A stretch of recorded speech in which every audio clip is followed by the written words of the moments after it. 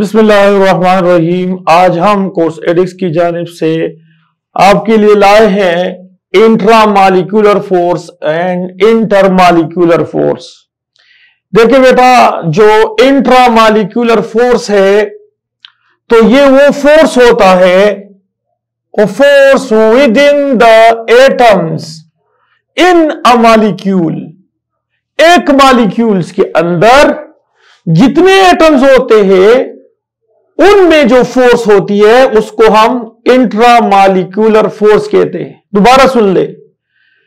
एक मालिक्यूल में जितने एटम्स होती है, उसमें जो फोर्स होता है, उसको हम इंट्रा मालिक्यूलर फोर्स कहते हैं। और intermolecular force the force amongst the molecules बहुत सारे मालिक्यूल्सों के दरमियान होता है। तो इसको हम कहते हैं intermolecular force intermolecular force intermolecular force amongst the molecules molecules के अंदर होते हैं। अब देखिए, याद रखिए, यहाँ पर जो इंटर मालिक्यूलर फोर्स होता है इंटर मालिक्यूलर फोर्स होता है इसमें not not involved. Not involved. Electron इसमें इलेक्ट्रॉन्स इन्वॉल्व नहीं होती है जस्ट इंटरेक्शन होता है. Not involve in electron it is just just interaction interaction positive negative का इंटरेक्शन होता है नॉट इन्वॉल्व इलेक्ट्रॉन याद रखिए, जो इंटरमालिक्यूलर फोर्स होती है तो ये आपके पास रिस्पॉन्सिबल है। It is it is responsible responsible for for the physical for the physical change. ये फ़िज़िकल चेंज के लिए रिस्पॉन्सिबल होता है intermolecular attractive force is responsible for the physical change physical change of matter of matter physical change of matter किसी matter में जो physical change आती है, वो इंटरमालिक्यूलर फोर्स की वजह से होती है। इसमें इलेक्ट्रॉन इन्वॉल्व नहीं होता है। अब हम इंट्रामालिक्यूलर फोर्स की तरफ़ जाते हैं। तो यहाँ पर आपके पास दो केसेस होती है। एक में इन्वॉल्व इन्वॉल्व इलेक्ट्रॉन यहाँ इलेक्ट्रॉन्स इन्वॉल्व होते हैं। और कुछ केसेस में not involve not involve electron कुछ केसेस में इलेक्ट्रॉन इन्वॉल्व नहीं होते। जहाँ इलेक्ट्रॉन इन्वॉल्व होते हैं, ये रिस्पॉन्सिबल है रिस्पॉन्सिबल है, क्या है? Responsible responsible for for chemical change for chemical change chemical change के लिए रिस्पॉन्सिबल है. और जहाँ इलेक्ट्रॉन इन्वॉल्व नहीं होता है, वो रिस्पॉन्सिबल है रिस्पॉन्सिबल है फॉर ये देखे फॉर फॉर फ़िज़िकल चेंज के लिए, ये फ़िज़िकल चेंज के लिए फ़िज़िकल चेंज के लिए रिस्पॉन्सिबल होता है। दो तरह के होते हैं। तो देखिए जो रिस्पॉन्सिबल है फॉर केमिकल चेंज तो वो इंट्रामालिकुलर फोर्स होते हैं देखिए इसमें इलेक्ट्रॉन इन्वॉल्व होता है तो आयानिक बॉन्ड होता है। आयानिक बॉन्ड होता है। दूसरा कोविलेंट कोविलेंट बॉन्ड होता है। कोविलेंट बॉन्ड होता है। इस तरह से मेटालिक बॉन्ड होता है। देखिए, इस तरह से आपके पास कोऑर्डिनेट यहाँ इलेक्ट्रॉन इन्वॉल्व होता है कोऑर्डिनेट कोविलेंट बॉन्ड होता है। ये आपके पास है, यहाँ पर इंट्रामालिकुलर फोर्स जहाँ पर के केमिकल चेंज के लिए रिस्पॉन्सिबल है, इसको मैं बताऊँगा। और एक होता है, जिसमें आपके पास इलेक्ट्रॉन रिस्पॉन्सिबल नहीं है तो वो आपके पास है फ़िज़िकल चेंज के लिए। तो मैं आपको यहाँ इसकी एक्सप्लेनेशन करना चाहता हूँ, और इसकी एक्सप्लेनेशन कुछ इस तरह से है। देखिए सपोज़ आपके पास यहाँ पर जो केमिकल चेंज है तो ये चेंज जो है, ये formula change formula formula change होता है। जब फार्मूला चेंज होता है तो ये केमिकल चेंज होता है। और ये केमिकल चेंज इसमें इलेक्ट्रॉन इन्वॉल्व होता है फार्मूला में चेंज आता है। सपोज़ मैं यहाँ एक्सप्लेन करना चाहता हूँ कि आपके पास है सोडियम तो ये आपके पास है सोडियम जबकि यहाँ पर आपके पास है क्लोरीन होगा क्या? इलेक्ट्रॉन इन्वॉल्व है। यहाँ से इलेक्ट्रॉन इस साइड पे आता है। यहाँ नेगेटिव चार्ज यहाँ प्लस चार्ज अब होगा क्या कि ये जो है, ये बनाएगा सोडियम क्लोराइड तो क्या है कि यहाँ पर सिंबल एन था। यहाँ पर क्लोरीन और यहाँ पर फार्मूला में चेंज आ गया है। सोडियम क्लोराइड तो फार्मूला चेंज जो है, वो केमिकल चेंज होता है। याद रखे सोडियम मेटल है क्लोरीन जहरीला गैस है, जबकि इससे नमक बनता है। तो ये याद रखिए, ये केमिकल चेंज है। तो यहाँ पर इलेक्ट्रॉन इन्वॉल्व है और ये आपके पास इंट्रामालिकुलर फोर्स है। ये आपके पास है अयानिक बाण इंट्रा है। इंट्रा फोर्स होता है। और कोवलेंट बाण में अगर आपके पास है हाइड्रोजन, ये हाइड्रोजन है और यह आपके पास है और यह ऑक्सीजन आपके पास है तो इससे क्या बनता है? इससे बनता है H2O देखिए, ये H2O बनता है। H2O बनता है। देखिए, इसमें old bond breaking new bond formation तो इसमें आप देखिए, आपके पास फार्मूला में चेंज आ गया है। तो यहाँ कोई बॉन्ड है। और ये देखिए, इसमें इलेक्ट्रॉन इन्वॉल्व होते हैं। देखिए ऑक्सीजन है तो इसके पास जो है सिक्स इलेक्ट्रॉन है। एक इलेक्ट्रॉन यहाँ पर, एक यहाँ। यहाँ पर हाइड्रोजन इसके साथ क्या करता है? एक इलेक्ट्रॉन शेयर करता है। यहाँ इलेक्ट्रॉन शेयर होता। तो देखिए, पहले ऑक्सीजन था। जो आग लगाने में मदद देता है और हाइड्रोजन जो है, गैस है। तो देखिए, इससे क्या बना? इससे बना वाटर। तो वाटर की करेक्टरिस्टिक हाइड्रोजन और ऑक्सीजन से अलग अलग है और इसमें फार्मूला में चेंज आ गया एच H2O फार्मूला हो गया। तो ये याद रखिए, यहाँ इलेक्ट्रॉन इन्वॉल्व है। ये इंट्रा मालिक्यूलर फोर्स होता है इसमें कोइलेंट बॉन्ड भी इन्वॉल्व होता है। तो ये आप देखिए फार्मूला में चेंज आता है। तो ये रिस्पॉन्सिबल है for what for the chemical change तो यहाँ आपके पास आ, ये ये with in the atoms in a single molecule so देखिए यहाँ पर कोविलेंट बॉन्ड है। यहाँ पर कोविलेंट बॉन्ड है। कोविलेंट फोर्स ऑफ़ अट्रैक्शन है। इलेक्ट्रॉन यहाँ शेड है। यहाँ पर अयानिक बॉन्ड है।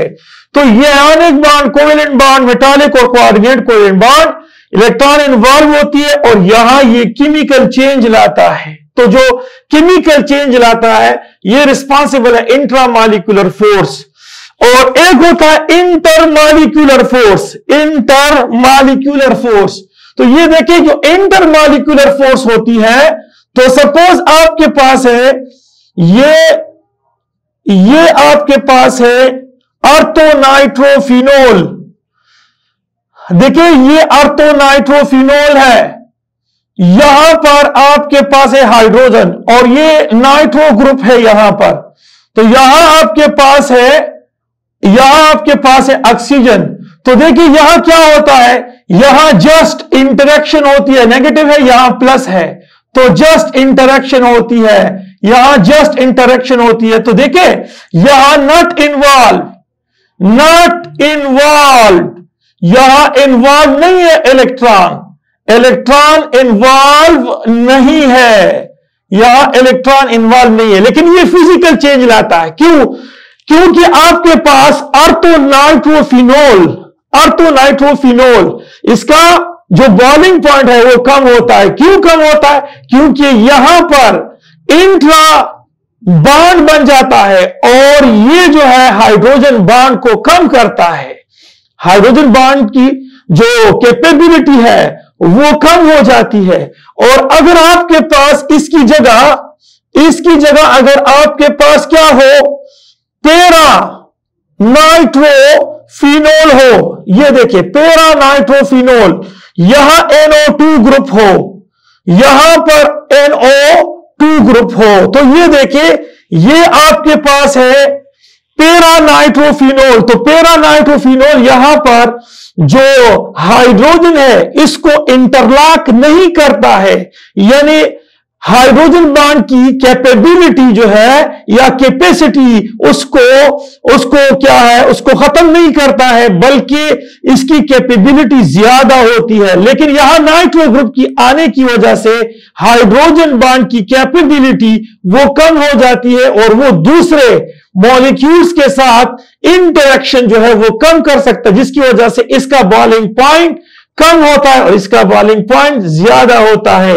यहाँ ये इंट्रामालिक्यूलर फोर्स है और यहाँ पर इंट्रामालिक्यूलर फोर्स नहीं होता है। यहाँ सिर्फ़ और सिर्फ़ यहाँ पर यहाँ इलेक्ट्रॉन इन्वॉल्व है, यहाँ इलेक्ट्रॉन इन्वॉल्व है। तो यहाँ तो होता है, लेकिन ये वाला फोर्स जहाँ पर के इलेक्ट्रॉन इन्वॉल्व नहीं है जहाँ इंटरेक्शन है तो ये याद रखिए, इसको हम, इसको भी हम इंट्रामालिकुलर फोर्स कहते हैं। तो ये फ़िज़िकल चेंज के लिए रिस्पॉन्सिबल है। तो ये दो किस्म के हैं। एक में इलेक्ट्रॉन इन्वॉल्व होती है, दूसरे में इलेक्ट्रॉन इन्वॉल्व नहीं होती है। अब हम जाते हैं अपने टॉपिक की तरफ़, और हमारा टॉपिक है इंटरमालिकुलर फोर्स और इंटरमालिकुलर फोर्स याद रखिए, ये हमेशा के लिए फ़िज़िकल चेंज के लिए ये रिस्पॉन्सिबल है।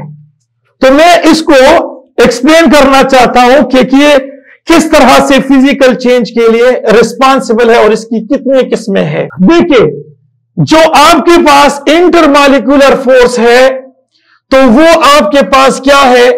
आपके पास है ion ion dipole ion dipole force ये एक है आयन डायपोल फोर्स दूसरा डायपोल डायपोल डायपोल फोर्स होता है। तीसरा जो है ion induced dipole force dipole force dipole force चौथा dipole induced dipole force dipole force पांचवा London London dispersion London dispersion force इसको हम शॉर्ट रेंज फोर्स भी कहते हैं। छठा आपके पास है हाइड्रोजन हाइड्रोजन बॉन्डिंग। ये हाइड्रोजन बॉन्डिंग। तो इसको हम कहते हैं क्या कहते हैं? Intermolecular force. Intermolecular force. अब इंटर मालिक्यूलर फोर्स, ये आपके पास है। ये जो आप देख रहे हैं, फाइव तक। ये ये फाइव जो है, इसको हम क्या कहते हैं? Van der van der Waals van der Waals force कहते हैं।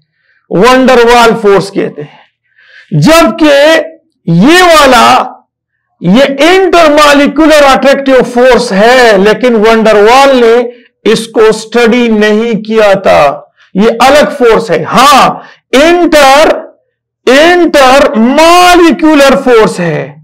लेकिन वंडरवाल फोर्स ये नहीं है। वंडरवाल फोर्स सिर्फ़ फाइव है और intermolecular attractive force six है। तो अब हम ये आपके सामने एक्सप्लेन करने वाले हैं कि how it is responsible for the physical change of matter ये फ़िज़िकल चेंज ऑफ़ मैटर के लिए किस तरह से रिस्पॉन्सिबल है?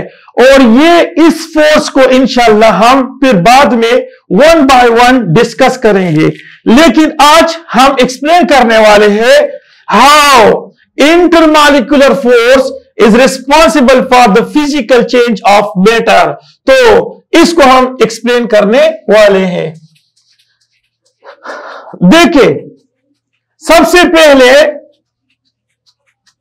सबसे पहले आपके पास है intra molecular force intra molecular force तो देखिए, वो क्या होता है कि हाइड्रोजन और ऑक्सीजन ये आपस में मिलके ये two mole hydrogen one mole oxygen आपस में मिलके two mole H two O बनाता है।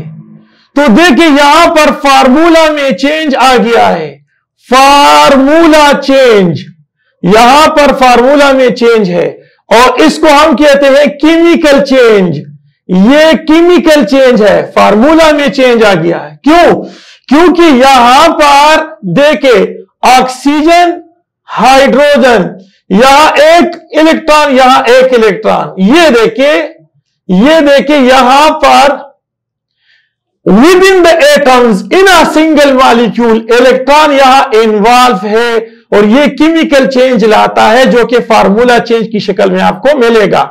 तो ये two two mole H two O मिलता है। देखिए two mole H two O मिलता है और यहाँ इलेक्ट्रॉन का डॉट क्रॉस फार्मूला की यहाँ डॉट यहाँ क्रॉस लाइन और ये देखिए ये आपके पास है ये, ये within the atoms in a single molecule यहाँ इलेक्ट्रॉन इन्वॉल्व है और इसको हम कहते हैं क्या? Intra intramolecular force intramolecular force ये भी आपके पास है intra intramolecular intra molecular force ये इंट्रा मालिक्यूलर फोर्स है।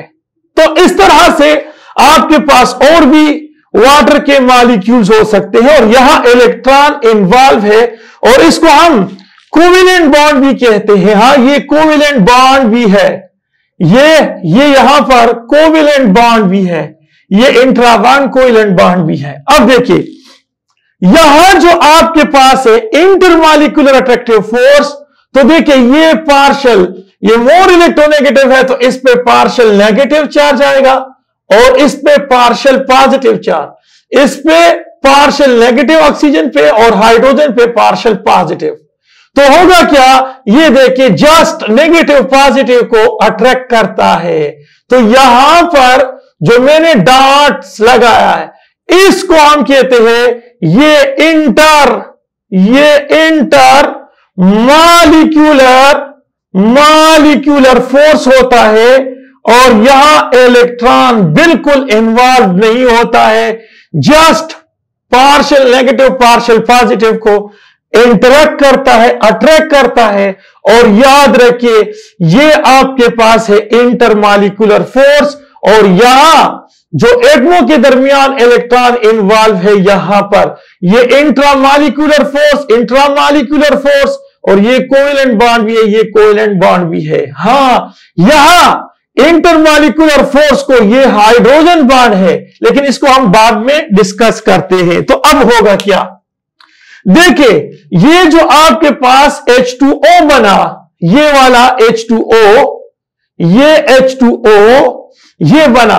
तो ये सपोज़ वन मोल H2O के मालिक्यूल है।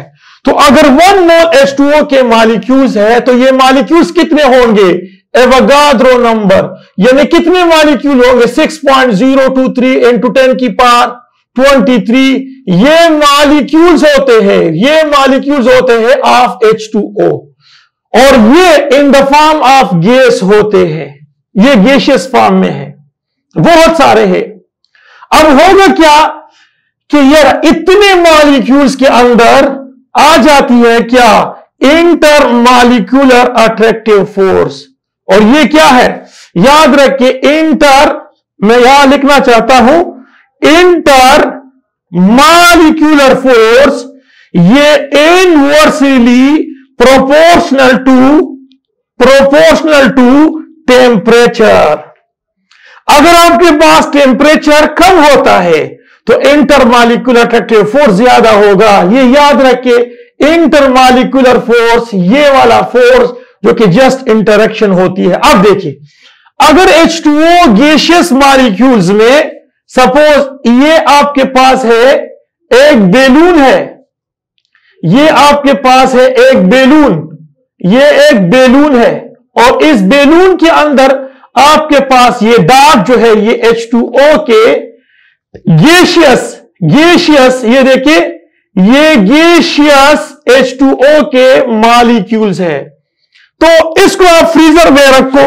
तो फ्रीजर में क्या होता है कि इसकी टेम्परेचर घट जाती है।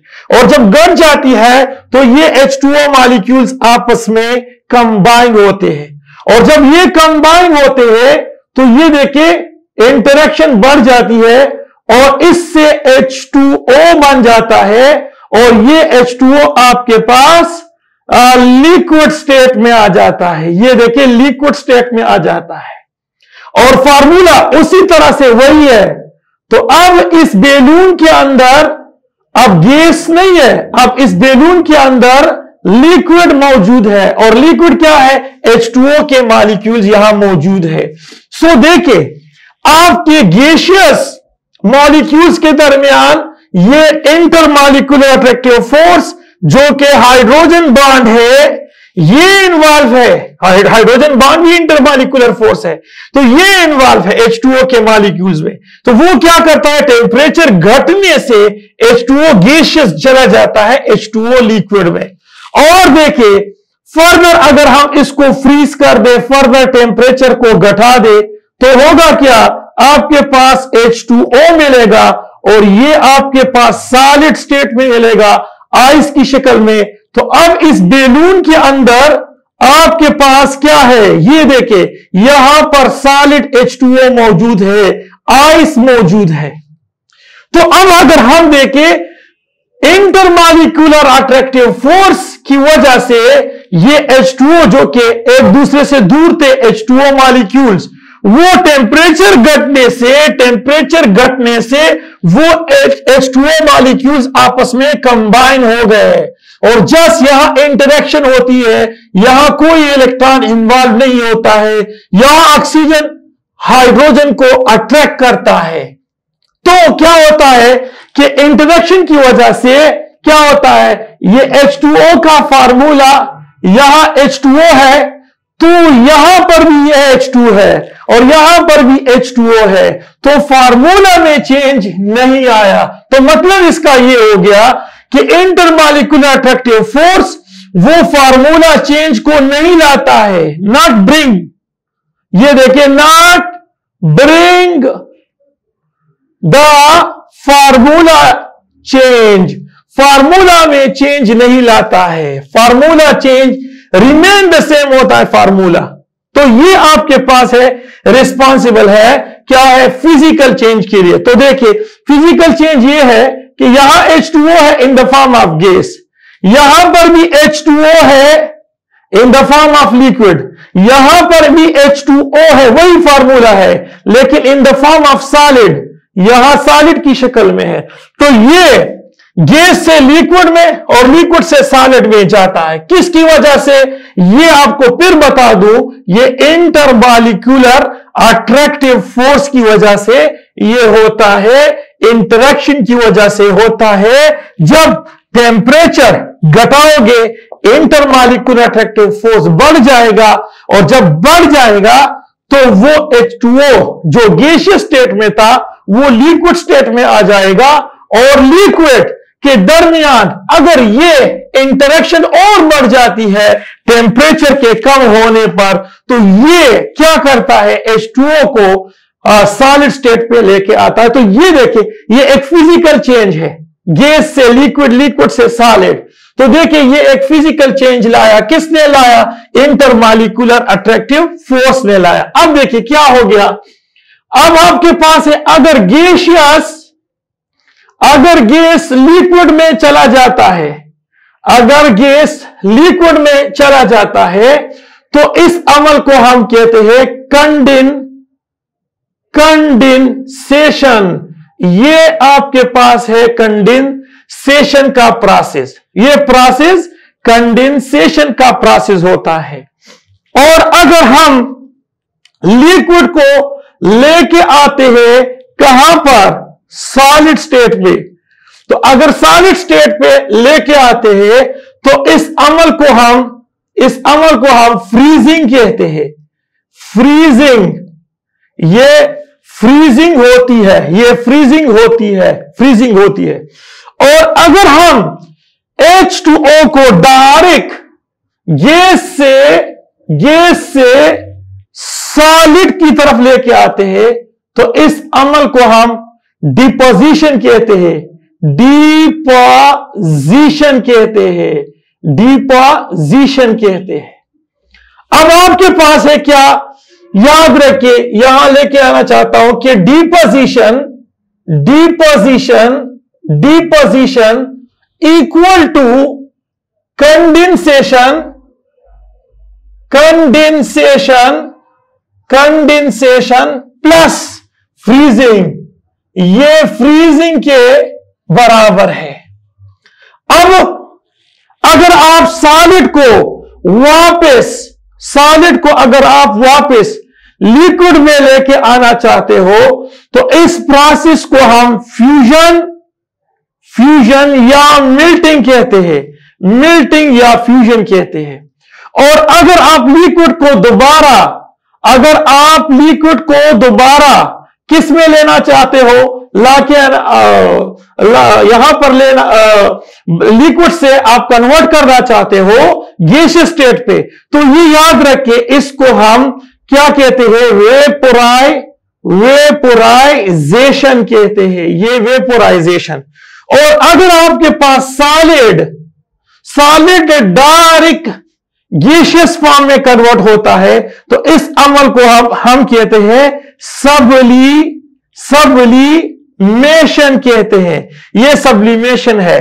तो अब देखिए, जो सबलीमेशन है सबलीमेशन है तो वो आपके पास बराबर होता है किसके? वेपोराय, वेपोराइजेशन के। और इसके साथ साथ फ्यूजन के या मिल्टिंग के बराबर होता है। अब देखिए यहाँ मैं दोबारा आपको एक्सप्लेन करना चाहता हूँ कि ये तमाम की कभी पोजिशन है कंडेंसेशन है फ्रीजिंग है सब्लिमेशन है वेपोराइजेशन है फ्यूजन है। ये तमाम के तमाम प्रोसेस ये फ़िज़िकल ये फ़िज़िकल चेंज है।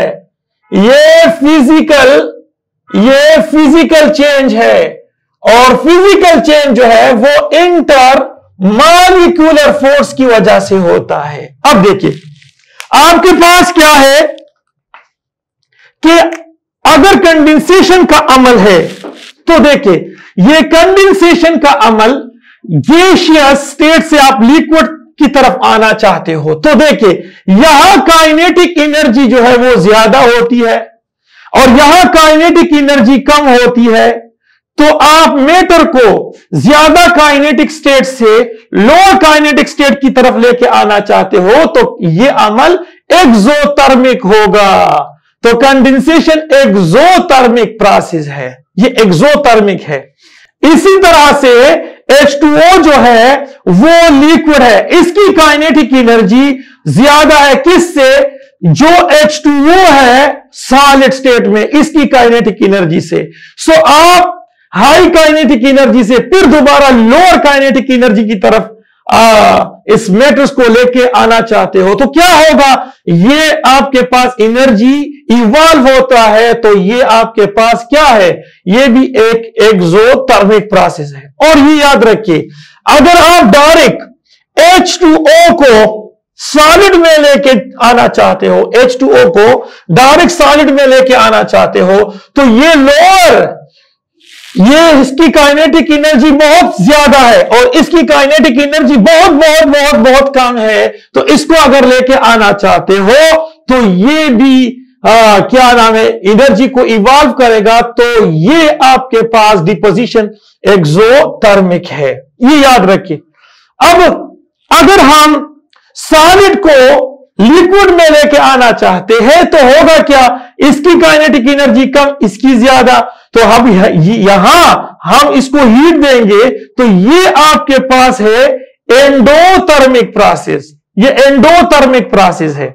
और अब देखिए, अगर आप लिक्विड को गैशियस में लेके आना चाहते हो तो यहाँ काइनेटिक एनर्जी कम, यहाँ ज़्यादा है। तो याद रखिए लिक्विड को आप गैशियस स्टेट में लेके आना चाहते हो तो एनर्जी दोगे तो ये आपके पास एंडोथर्मिक प्रोसेस है। अब देखिए अगर आप सॉलिड को डायरेक्ट गैशियस में लेके आना चाहते हो तो देखिए, यहाँ आपने हीट देना है तो ये आपके पास क्या होगा? एंडोथर्मिक होगा। ये एंडोथर्मिक होगा। तो ये याद रखिए, ये फ़िज़िकल चेंज है और physical change intermolecular attractive force की वजह से। अब अगर मैं आपको यह बता दूँ कि आपके पास है हीट हीट ऑफ़ डिपोजिशन या हीट हीट ऑफ़ कंडेंसेशन या फिर हीट ऑफ़ फ्रीजिंग वो क्या चीज़ है? देखे मैं आपको यहाँ वाजी करना चाहता हूँ। देखिए simple heat heat of condensation the amount of heat evolve देखिए amount of heat evolve when gaseous state convert into a liquid state, this is known as heat of condensation. ये heat of condensation है। अब इसके बाद आपके पास molar heat of condensation अगर आपके पास ये सब्सटेंस वन मोल है one mole one mole gas को आप कन्वर्ट करना चाहते हो लिक्विड में, इसको हम कहते हैं मोलर हीट ऑफ़ कंडेंसेशन तो molar heat of condensation exothermic है। So the conversion of one mole of a gas into a liquid state the amount of heat evolved इस कारण हीट ऑफ़ कंडेंसेशन और ये हीट ऑफ़ कंडेंसेशन एक्सोथर्मिक इस तरह से अगर आपके पास यहाँ हीट है हीट की बात so the amount of heat evolve when one mole gaseous state convert into a solid state इस कारण हीट ऑफ़ फ्रीजिंग ये भी आपके पास एक्सोथर्मिक है। और ये देखे the amount of heat evolve when one mole gas directly convert into a gaseous solid sorry into a solid state is known as heat of deposition heat of deposition तो देखिए heat of deposition आपके आपने वो आपको देंगे कि heat of condensation इतना है हीट ऑफ़ फ्रीजिंग इतना है तो हीट ऑफ़ डिपोजिशन मालूम करे।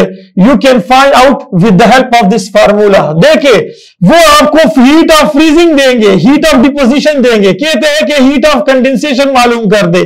तो आप इसको यहाँ पर लेके आओ तो ये आपके पास हीट ऑफ़ कंडेंसेशन मालूम होता है। इस तरह से आपके पास है हीट हीट ऑफ़ सब्लिमेशन और ये heat of heat of vaporisation और ये आपके पास है हीट ऑफ़ फ्रीजिंग सो देखिए the amount of heat